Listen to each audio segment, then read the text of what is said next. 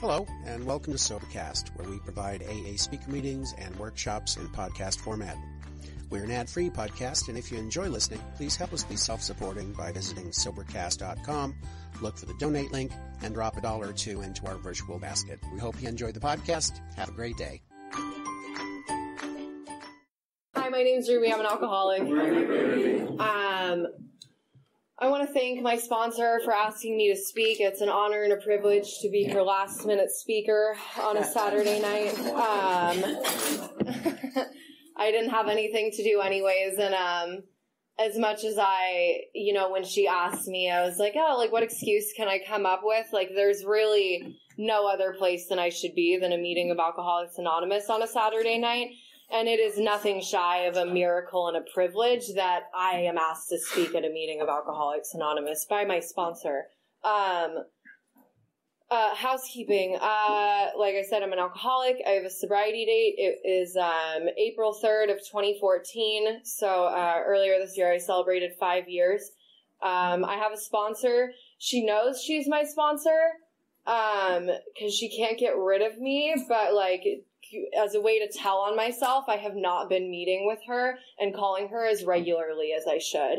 And um, besides that, I have a home group. It's uh, Tri Valley Friday nights in um, Pleasanton. It's young people, so I'd really recommend checking it out if you'd like to go. We could use your support. And um, my life for the past five years has been constantly surrounded by Alcoholics Anonymous and continues to stay that way. And uh, I ended up here at the age of 15 years old. Um, I, uh, you know, it was like, I'm not, you know, I don't blame anyone for me being an alcoholic, and I don't blame my parents for me being an alcoholic, but uh, they definitely made drinking look good. You know what I mean? Sorry, I hate it when you're here. It's so awkward. um, so I was like born to fail. Like I, my mom is like schizophrenic and addicted to meth. My dad's like a convict and like a heroin addict. So it was like the odds of me ending up here were like pretty, uh, pretty big. And I, um, I, you know, play the tape out often and think about like who I was and how I ended up here and how uh, my speaker at this at the meeting I secretary last night was talking about for his um, for what he wanted people to share about was uh, what makes you an alcoholic specifically. And I didn't share, but I was thinking about it, and it's um, there's something about me, and there's something about you know whatever people call it, allergy, genetics, whatever. Um, I have this overreaction to feelings. Like I had a really hard time identifying whatever I was feeling and I didn't like anything that I was feeling. Like even when I was happy, it was like this isn't enough. Like I crave like euphoria. Like I need everything like to excess. And to combat this um overreaction to feelings and what ended up being an overreaction to alcohol and substances, I used alcohol. Um and it's no wonder that I and everyone else here chased alcohol to the depths that we chased it because whatever you came here for, whatever you drank for, it obviously worked for like a certain amount of time. Like it worked for me and it was the only thing that really like quieted this like self-hatred and like lack of ability to handle my feelings and function throughout the normal world how I thought I should. And I um and that and that's why I drank. And what I didn't know at the um, age of 11 when I first drank that I would come to find is that every time I drank, I could do things that I could not do when I was sober. And um, it worked. It worked for a while. And I um, I hit bottom at the age of 15 years old and moreover the consequences became too much I can handle and I don't need to like sit here and tell you war stories or like how I ended up here because we all know how to drink and we all know what happens and I did all the things I said I would never did and I became this person that I hated and I essentially had grown up um, with the idea that I'm never going to be like my mom and I'm never going to be like my dad. And that's exactly what I became. And I, um, I uh, checked into rehab on this harebrained scheme to get out of uh, drug tests with my dad, thinking that we couldn't afford it. And uh, my counselor at the outpatient program was like, "You're so fucked off. You're going to go for free." And I um, I had gotten sent to rehab, and I I was 15, and my intake day was March 3rd of 2014, and um, I changed my sobriety date because railing trazodone is not sober when you're in rehab. So um, I I got out of rehab. Um, I was real young, and I um, and I didn't have any friends, and I couldn't go back to the high schools that I dropped out of, and I um, didn't necessarily know if sobriety was what I wanted. And I couldn't imagine myself living a life sober because prior to coming here and getting sober, I'd only known a life of chaos. And the chaos from when I was a child was caused by other people. And then when that ended, I had to create it myself. So coming in and envisioning my life not being like a chaotic nightmare all the time, like didn't make any sense. Um, I couldn't wrap my head around it. But when I got out, I, um, I came to this, I started coming to these meetings and I, um, I hooked up with all these girls in the rehab that I went to also wanted to be sober and we kind of just dragged each other to young people's meetings because we didn't really know what else to do and we'd like been on good terms with our parents. So we were trying to keep that going. And, um, I couldn't tell you why out of maybe the 60 or 90 different people that I met in that program, why now I'm the only one who stayed sober. And um, two of them have died. One of those was my rehab boyfriend. Um, and then the last one who'd been around for four years is gone too now. And um, I'm the only one. And uh, I hit this point when I had a couple months sober where I hadn't gotten a sponsor. I was going to young people's meetings. I was hanging out with all these girls, but I hadn't really made relationships with other people besides that. And um, rehab boyfriend overdosed and died. All the friends I'd gotten sober with left, uh, left AA, and um, I was alone. And I had zero solution, and all I knew was how to be physically sober. Like I didn't have any emotional sobriety. And when I was at this point, like there are two options. Like I can go out and do what I did before and see where that takes me, or I can take the suggestions that people have been giving me. And for whatever reason, I took them and I got a sponsor and I got commitments and I reached my hand out and I started going to different meetings because when I got sober, I had the privilege of coming in here uh, with a parent and a step parent who were sober, who knew people. And I would go to these meetings, um, and I was like 15, I'd be like sitting in Diamond Links in Oakland and I'm like hearing these stories that people shared, like, oh, like I've, I've been to prison, like I abandoned my family, like I killed someone. And like, I never had the privilege of having those experiences. But when those people told me that they drank and they didn't feel afraid, that was the identification that I could use to keep coming. Because our outward stories don't look the same. A lot of the times they don't, but the feelings are all the same. They're all there. And I am. Um, branched off from that world of AA to, you know, try and be a teenager and figure out how to do that without drinking or using. And I, um, I knew that. do you remember last time I started talking? I had no idea. Wait. Tight. Um, so then I, I, started doing the suggestions. I started working the steps and taking it seriously. I was working out at the big book with a woman who's more sober than I am out than I uh, was at the time, and I um I started to feel better and I started to feel happier and I started to look at myself in the mirror and not hate myself. And I started to learn how to have relationships with other people. And we often talk about in this program about like growing up in AA, but I like legit grew up in AA. Like I graduated high school, I got a driver's license, I went to college, I got a job.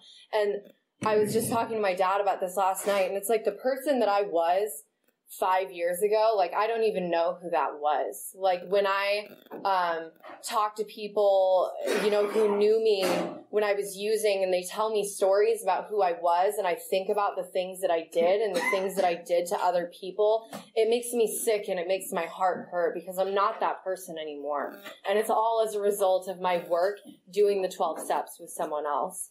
And, um, you know, today I, um, have a life beyond like my wildest dreams, something that I never thought I would have deserved. Like I was a high school dropout and I went back to college. I'm a teacher. Like people like trust me with the education of their children, uh, which is wild. I um I live in a house with two sober women. I have a really good relationship with my family. Like I I'm constantly surrounded by like reminders of like what life looks like sober for me and I wouldn't trade that for anything. And I um I can be when I, you know, I'm feeling upset or when shit happens cuz a lot of shit has happened in sobriety, like I can I can be grateful that I have the life that I have because it isn't necessarily the life that I deserve. And um uh, welcome to the newcomers, really the most important people here. Like four days, like I like I I know like I've it's uh it's really hard. And you're the most important person here. And um and I and I'm really grateful to be here. And um if you didn't relate to anything that I said I hope you relate to the 40 minute speaker. And if not then I just suggest you go to another meeting and you keep coming back and you work the 12 steps with another person that you can really trust because that's where the good work is. Um I'm gonna stop talking. My name's Ruby. I'm an alcoholic.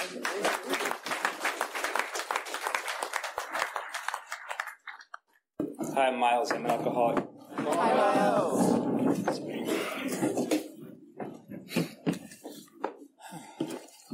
Forty minutes is a pretty luxurious amount of time to talk, so I'm going to pace myself here. Um, all right, so I was born in 1979. I just turned 40 years old. Um, when I was five, my parents split up because my alcoholic father was drinking and philandering, and uh, that was the story at least when I was five. And uh, so my father was an active alcoholic. He had all kinds of girlfriends and stuff. And one day, uh, my mother, my sister, and I were going camping for the weekend with our church and I had this special flashlight that I had named that was like my favorite toy that I was going to take camping. I couldn't use it till we went camping. I was very excited, and I left it at the house. And we were going to leave from work, and then we had to go back to the house to get it. And I walked in uh, unexpectedly to go get my flashlight, and Dad was in the kitchen with his girlfriend. And I didn't know what that was, but I walked out to the car with my flashlight all ready to go and mentioned to my mother that he was there's some lady in there with, with dad. I don't know what that's about. Let's go. And uh, so she pulled over, jumped out, and uh, they announced they were getting a divorce that day. And uh, the next four years were uh, were him was him bottoming out, and he got sober when I was nine. And um, the reason I start with that is because I started going to AA when I was nine because of that. So just a meeting just like this, almost exactly like this. In fact, seeing the young lady in the kitchen, I was thinking of that because I was doing that at nine years old, going with my dad, and um, I learned a couple things there that weren't exactly the, the, the best things to have learned, but the things I learned from uh, doing that was that if you drank too much, you would have to stop.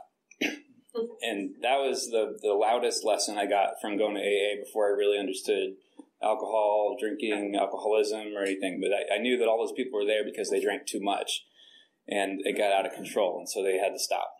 So that was my introduction to drinking. And then when I was around, I can't remember if it was 11 or 13, I think 13 is when I had my first drink. And I think I think my first drink was when my mother never really drank, and she had a party, a bunch of friends, and somebody brought a six pack of uh, Samuel Adams Boston Lager, and they left like five of them in the fridge, which those are the kind of friends that she had. And um, they were way in the back, and they were there for a long time. And I had this dirtbag friend that we were about to start getting into a lot of trouble, but we were still just little kids at the time. And she was out one night, and we decided to drink only one. We figured if we drank one, she wouldn't notice and we cracked one open and it was so disgusting uh, that we started drinking it like tequila shots with salt and a lime. And so we would trade shots on the one beer. And what's so what strikes me now about that experience is that we ended up drinking three of the beers not one. And i didn't understand this back then but that was an early sign of alcoholism and it's not to say that anybody who did that was an alcoholic, but uh, eventually I had many, many years of experience of very similar type of drinking, which was uh, characterized by setting a target for how much I was going to drink before I started drinking. And then I would begin drinking, and then I would drink well past the target that I had set. and that happened literally the first time I drank. Uh, for years, I've been telling the story of the first time I got drunk, and I realized tonight that the first time I got drunk was not the first time I drank. Uh, the first time I got drunk was almost exactly the same kind of thing. I had two shots each from eight different bottles of liquor at my friend's house while his parents were gone. And uh, the plan was to have one shot, and then the plan was to have one shot from each bottle, and then the plan was to have another shot from each bottle. And by the time I was done, I was just annihilated and um, woke up the next day uh, and started trying to get another bottle. And so I tell that story now too because, first of all, it's another example of me drinking alcoholically. But what I also realized eventually when I got sober was that when I woke up the next day, I was actually still drunk and I was still drinking. I was on a bender. And that allergy to alcohol that I have was still in full effect, and I needed to get another drink. I had I had no ability to to, to not drink at that point. And so that that's really important for me uh, as as a sober alcoholic because I didn't understand what alcoholism was for many many years. So I'm gonna I'm gonna explain really literally what it is. It's the allergy of the body and the obsession of the mind. And the allergy of the body is what I just described. So when I pick up a drink, I can't control how much I drink after that. Sometimes I'll drink like a normal person. Sometimes I'll drink like everybody else at the party. But whatever it is, I'm not I'm not able to to uh, to specify and control how much I drink once I start. And that was pretty easy for me to understand when I first got sober. My sponsor explained that to me the first day we sat down together. And then he explained the obsession of the mind, which took me about six months to really get. And uh, the way I describe it now is that uh, when I'm sober, I will I will eventually fall for the idea that I can control and enjoy my drinking, which basically means I will forget that I have the allergy, and I'll think that I won't have that problem when I pick up a drink. And that's exactly what my what my life was like every day before I got sober in AA. I would wake up hungover. I would decide not to do that again. Say I'm not gonna I'm gonna take it easy tonight. I'm gonna get my life back on track, and then maybe maybe drink normally a week or two or a month from now. But I'm not gonna drink tonight. And then later on in the day, once I started to clear my head a little bit, I would start to think, well, maybe I'll just have a couple. That sounds like a good idea. And and back then, I thought I was deciding to drink. I was choosing to drink. But now what I realize is I, I had 10 years straight of every single day waking up, deciding not to drink, and then drinking and thinking that I had just changed my mind. And what it, what it means to me now is that's the obsession. And I was trying to remember the quote that Don read in the, in the uh, opening literature. There was a line there that just stuck out because I was thinking about that. Uh, it was something of, um, oh, most alcoholics will not uh, will not agree that they have this problem or something. I can't remember exactly what it was, but that was the exact nature of that obsession. Is that I, I didn't think I had that problem, even though I experienced it every single day. So that was the the nature of my drinking. Uh, a little bit about how my life progressed. Um, so those drinking stories were when I was 13, 14, around there. By the time I was 15, I had uh, sort of a mix of drug problems and alcohol problems and was just really I like dirtbag. It kind of makes it sound cute, but I was just turning into a dirtbag. But I was I wasn't really progressed enough to really full fledged be one. But that was that was where I was headed.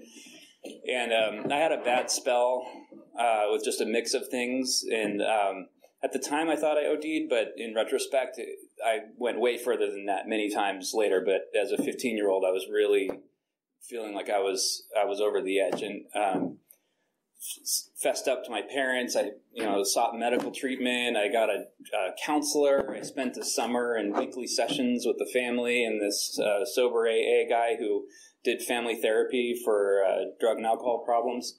And it coincided with me moving to a new city. Uh, my mom got married to a new guy, and we moved about an hour away. And so I had this fresh new life, and I was in AA, 15 years old.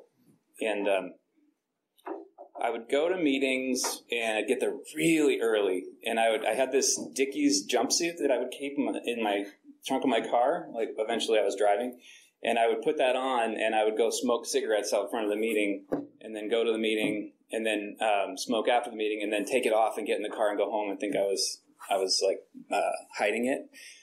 And so I, I would kind of just go hang out at meetings. And there was this one meeting I went to regularly. It was like on Tuesday or something. And I remember going to this meeting all the time and hearing the stories people would share. And they would talk about these different things. In, in retrospect, now I understand that frequently I was listening to people share resentments in a meeting about what was going what was going wrong in their life, but uh, it was who they were angry at in their life. Uh, but at the time, I remember thinking that what they were describing was uh, the the things that made them uh, sick. It, which is funny. I, I, just heard myself say that, and that's actually really true. But um, but but what I really I was misunderstanding alcoholism back back then. So I thought that each person was explaining the specific reason that they became an alcoholic in their life, and that it was a set of experiences and circumstances that led them to develop an alcohol problem. That's what I thought I was listening to. There's this one guy, though, that would every week, he would say the same thing if he got called on. He would say, I have this problem where when I pick up a drink, I can't control how much I drink because I'm allergic to alcohol.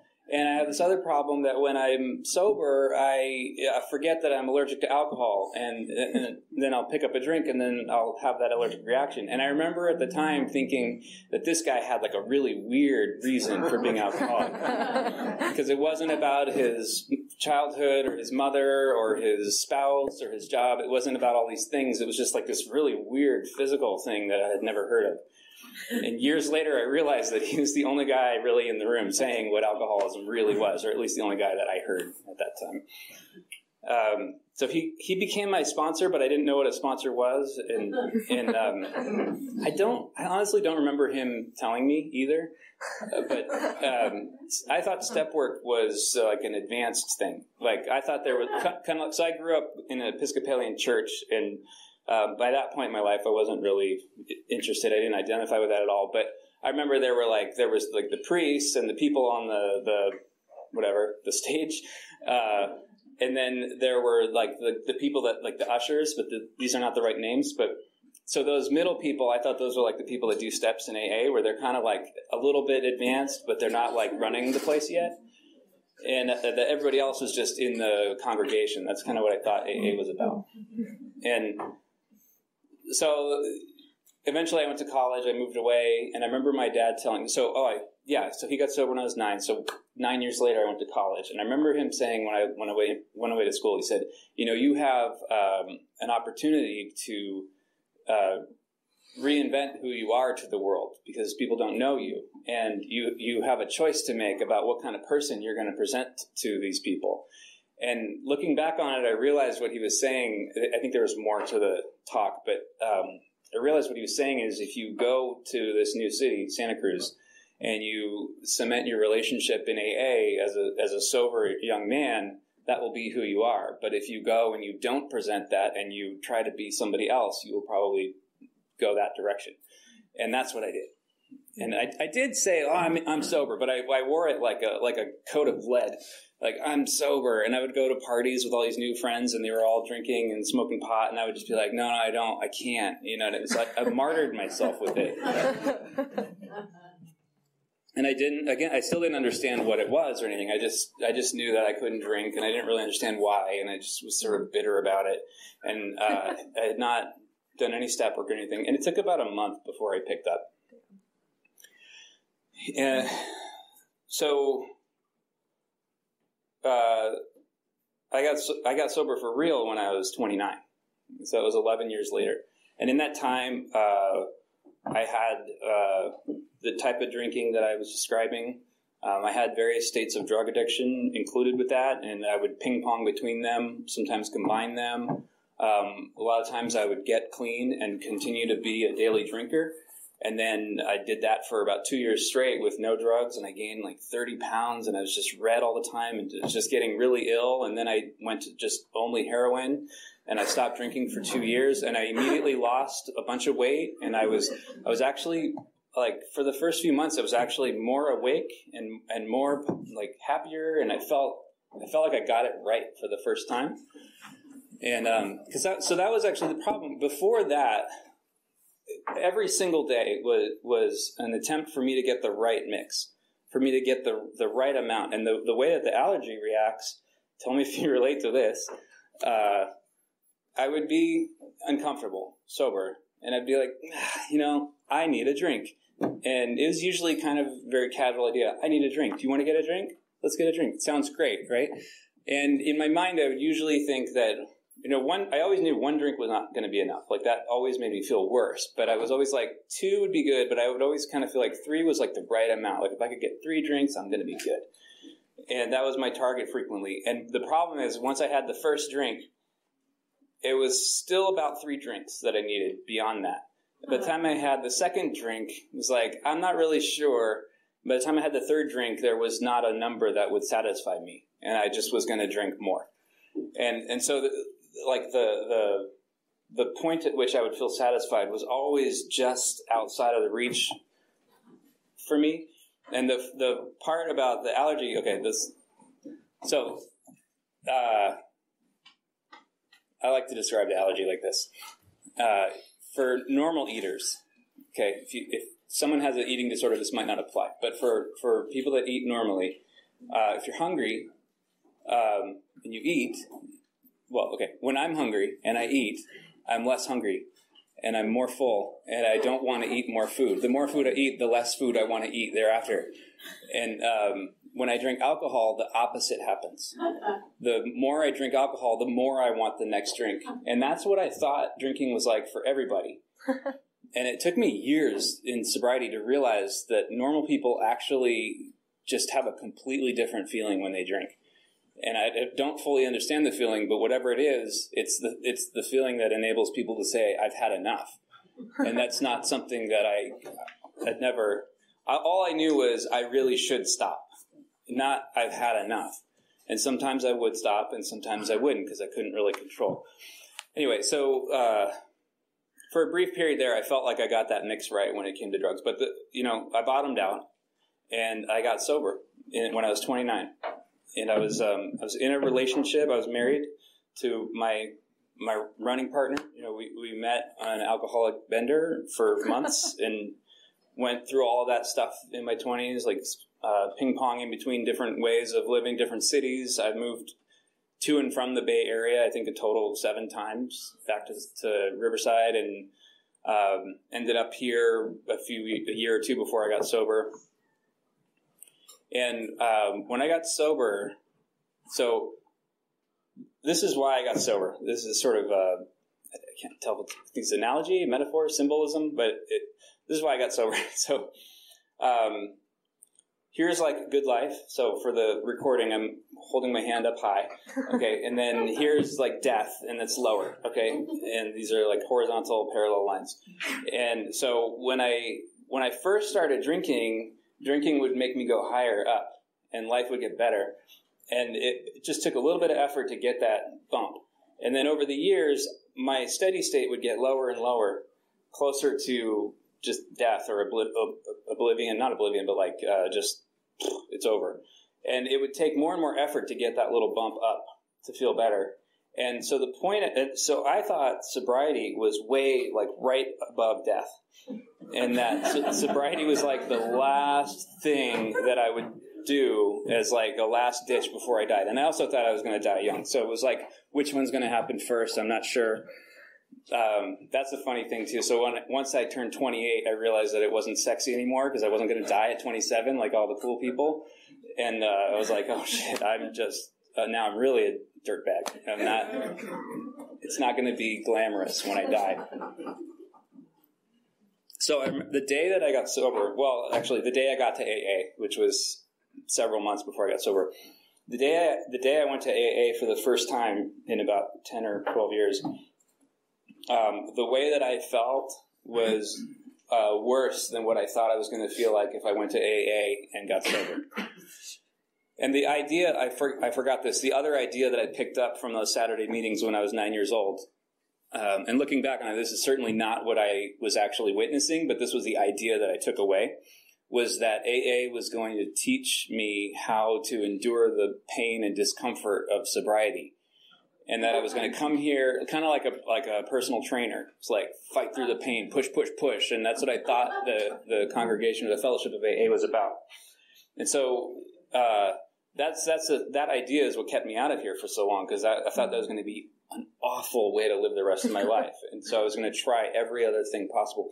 So the day I got to AA, that sounded better than what I imagined was going to be the rest of my life if I didn't go to AA. That's how I felt, and um, I had I had developed this image, you know, of. Uh, I think it had Michael Keaton in it from the movies from the 80s, but it was this image of old men in trench coats and baggy suits and cigars and cigarettes and had rusty, rusty voices and like, hey kid, get in here, sit down, and drinking uh, Folgers, and that's what I thought. You know, when I because I so I had been to meetings, you know, in what was like the early '90s, and they they smoked on this side of the room and not on that side of the room, and I and I just had this awful notion of AA.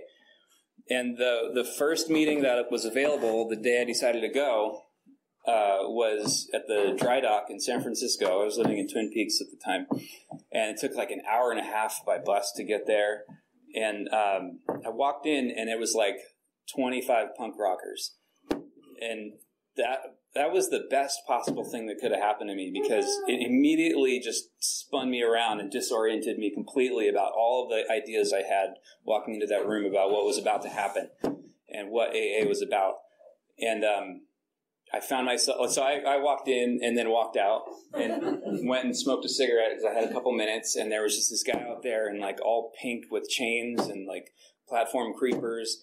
And he was kind of like non, like not really. It was just me and him, and I was just like ten feet away, and I was, I was kind of like half looking at him, like, is he, do I say hi to this guy? What is this? And then he just kind of like flippantly was like, "Hey, man, what's your name?" And just introduced himself, and and then he was a secretary, and so we went in and sat down, and the speaker said this thing that just cemented not cemented, but started my relationship with AA. He said, uh, he was telling his story, and he said that his moment of clarity was when he was partying so much that he had gotten kicked out of his parents' house. He didn't have a job. None of his friends would let him stay there, but he would still party with them all the time. And then he would leave and then go sleep on the streets or in a park or something. And he said this one morning he woke up and he had a, a little bud in his pocket, and that was it. And he was digging in a trash can to find a, a soda can to smoke it with. And this family walked by, and this little kid pointed at him and said, Look, mommy, a homeless man and he said he realized like he had like this third eye view of himself and realized who he had become and i had just had an experience like that a couple months before and um, the experience was that i was in the tenderloin at 6.30 a.m and there was a prostitute walking by me uh, just dancing and snapping her fingers and i wanted to I, I wanted her life and it was better than my life and i had this vision like wow that's that's where i'm at now so he said that in this meeting, and I was just like, "This is it. Like, I get it. This is th- that's how I am." And I and I felt connected to to AA. Like I felt like I was in the right place. And so that was three months before I got sober. So I went to meetings um, pretty much every day, and I wouldn't stay sober a single day, but I just kept going. And then nothing spectacular really happened. It's just that one day somebody came up to me, as many people had, and um, introduced himself to me. And he took me to another meeting, which I had also I had only been going to that spot. And they had meetings all day, and I would just go to that spot and be like, I'm going to stay in meetings all day until I'm sober for the rest of my life. And I would never make it. And he took me to a different spot for a different meeting, and I met these different people. And just breaking that mold a little bit that I had gotten into for three months, kind of like, oh, this is a little more fun. And um, I I hung out with those guys that night, and we went to a taqueria, and they bought me food, and I was so broke that that was like I was like, oh my god, this is so wonderful. These people are so kind, and they invited me to a meeting the next day, and I went to a meeting, and then um, I had some uh, like detoxing to do. You know, I was messed up and I, I, was physically really ill for months. And they invited me to their house every morning to come over, and they would let me spend the night there if I wanted to. I was still married to my ex-wife then, so that was I didn't do that, but I would I would get up and like go out for the day and go and like nap at their house, and it was so kind. And they would take me to a meeting, and uh, a few months later, I was just like on fire in AA. And I realized eventually that both of those guys were like on drugs that whole time, but they were trying to get sober and they were taking me to meetings and, and like introducing me to people and it was really bizarre that that worked Um, but that so the guy that introduced introduced me to those guys introduced me to my sponsor, and I met with this guy uh, every Saturday at eleven o'clock for an hour, and we met at uh, Muddy Waters on 16th in Valencia, and we would go to High Noon at 12:15 on 15th in Valencia every Saturday. And he he said something the first time we sat down. So he explained the allergy and the obsession, and he also said that we were going to do the steps, which was that was like okay now I have heard about the steps for the first time, and um, he said that the first 11 steps were intended for me to, to have a spiritual awakening and to learn how to get sober and how to stay sober. And then the 12th step was where I was going to, from then on, show that to other people. And that in doing that, I was going to go through the steps perpetually for the, as long as I stayed sober and as long as I did the step work. And he said that to me in our first meeting.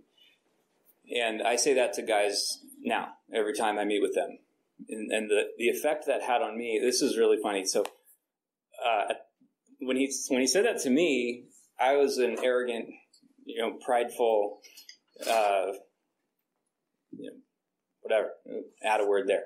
And, um, and when he said that to me, I was like, so I'm going to be in charge after I do these steps. I just have to do these steps, and then I'm going to be able to tell everybody else what they need to do, which is like what I was thinking about every day for my entire life anyway of what everybody else should do and why won't they listen to me. And so it appealed really well to that to that natural uh, idea that I carried anyway.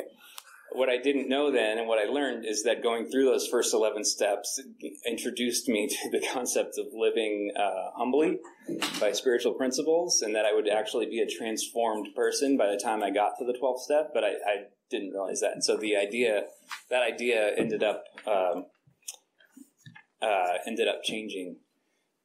So, um, I paused because by my watch I have 15 minutes, but you gave me the 10 minute warning. so I'll go by your yours instead.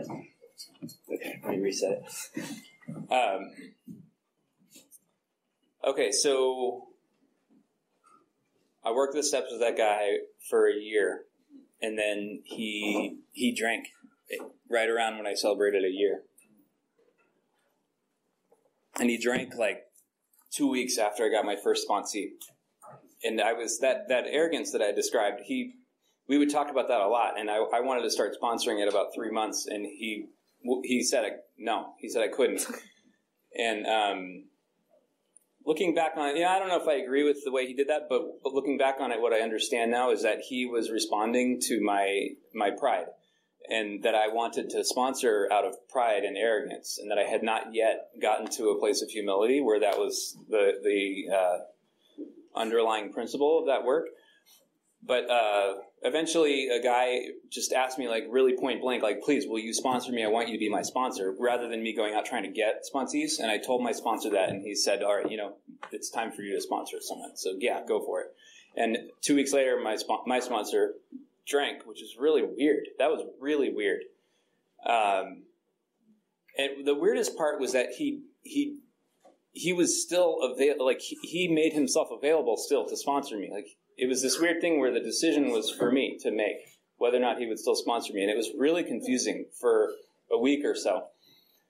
And um, I did I did not continue working with him, which I'm really glad for.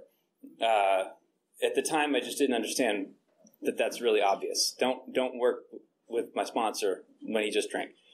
So uh, I got a new sponsor, and I, I don't want to get stuck in this long story of sponsors, but the, the, the best way to describe it is that I spent maybe,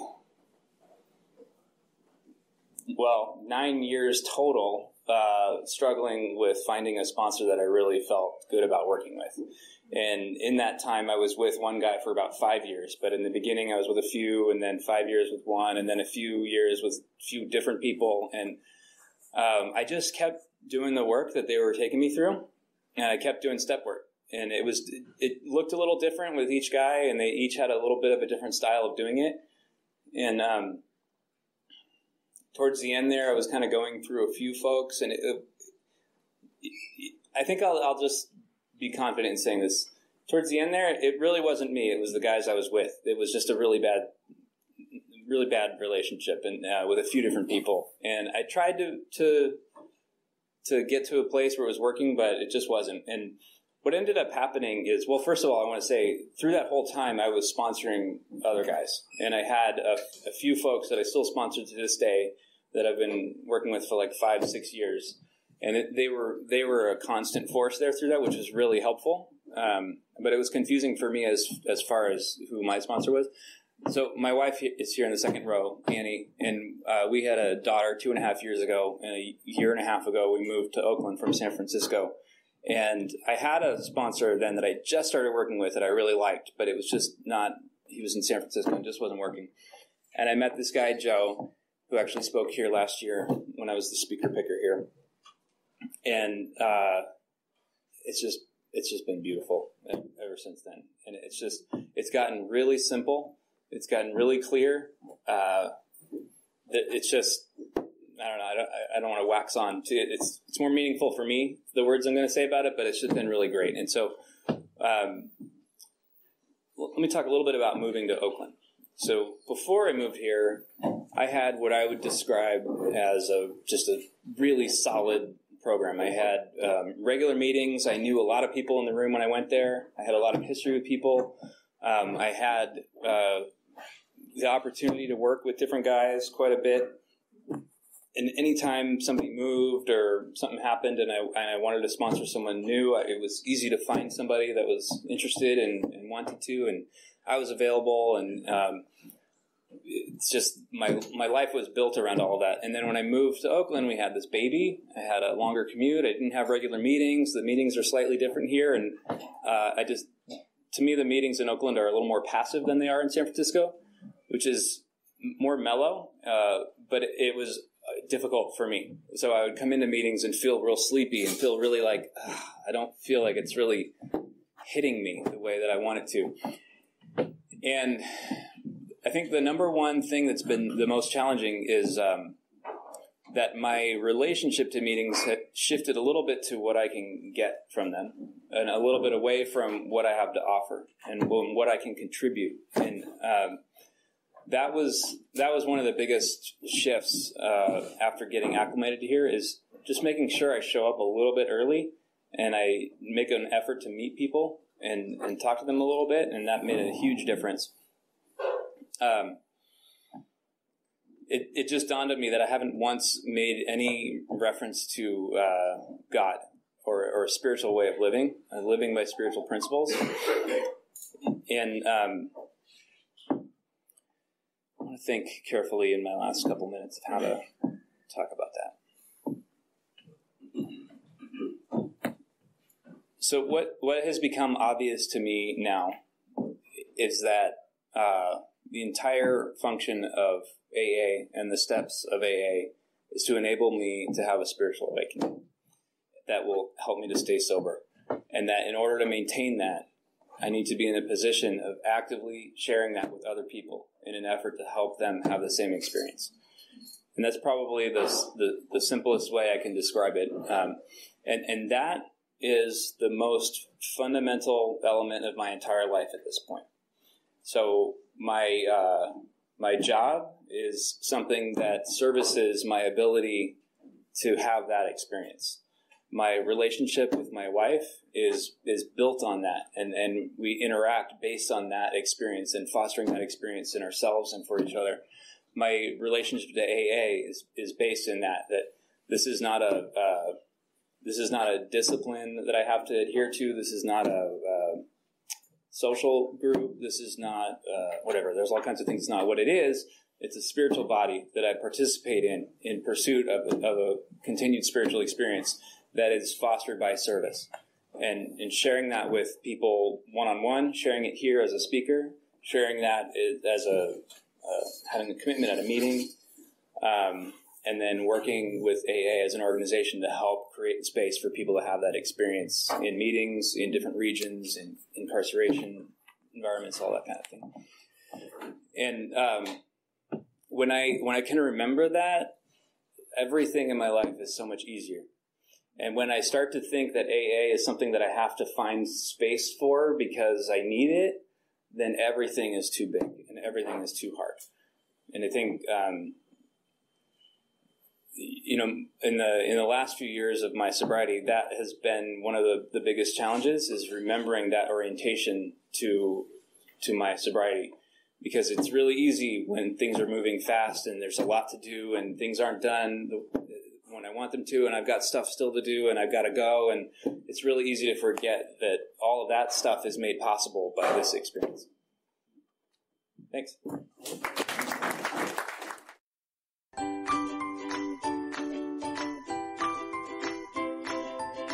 Thanks for listening. I hope you enjoyed the podcast. Sobercast is ad free, and we'd like your help in order to keep it that way. So if you'd like to help us be self supporting by pledging a dollar to a month, visit Sobercast.com and look for the donate links. Thank you very much.